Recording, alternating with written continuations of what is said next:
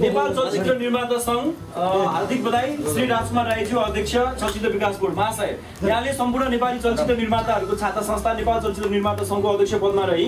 नेपाली चलचित्र जगतको उत्थानमा पुर्याउनु भएको योगदान प्रशंसनीय रहिआएको छ। नेपाल सरकारबाट यहाँ नेपाली चलचित्र क्षेत्रको सर्वोच्च संस्था चलचित्र विकास बोर्डको गरिमामय अध्यक्ष पदमा नियुक्त हुनुभई। पद बहाली गर्नु भएकोमा हार्दिक बधाई ज्ञापन गर्दछौँ। नेपाली चलचित्र क्षेत्रको यस्तो विषम परिस्थितिको बेलामा नेतृत्वबाट राष्ट्रिय चलचित्र नीति बक्स अफिस र चलचित्र हल तथा चलचित्र वर्गीकरण जस्ता मुख्य एजेन्डा लागू गर्दै समग्र चलचित्र क्षेत्रको श्रीवृद्धिमा महत्त्वपूर्ण भूमिका खेल्नुहुने। विश्वासका साथ यहाँको सफल कार्यकालको लागि शुभकामना व्यक्त गर्दछौँ। उदय सुब्बा उपाध्यक्ष नेपाल चलचित्र निर्माता सङ्घ। रोज राणा उपाध्यक्ष नेपाल चलचित्र निर्माता सङ्घ। कृष्ण भट्टराई महासचिव नेपाल चलचित्र निर्माता सङ्घ मिति दुई हजार बहत्तर जेठ सत्ताइस गते। यो चाहिँ हाम्रो निवर्तमान अध्यक्ष अशोक शर्मा लगायत हाम्रो पदाधिकारीज्यूहरूले अध्यक्षज्यूलाई हस्तान्तरण गरिदिनु। सामूहिक रूपमा।